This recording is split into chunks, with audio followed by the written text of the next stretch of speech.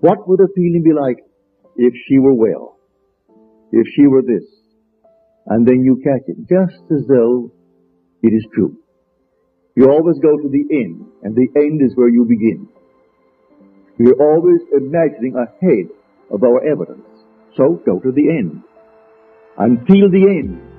And then dwell in that end, even though reason denies it and your senses deny it.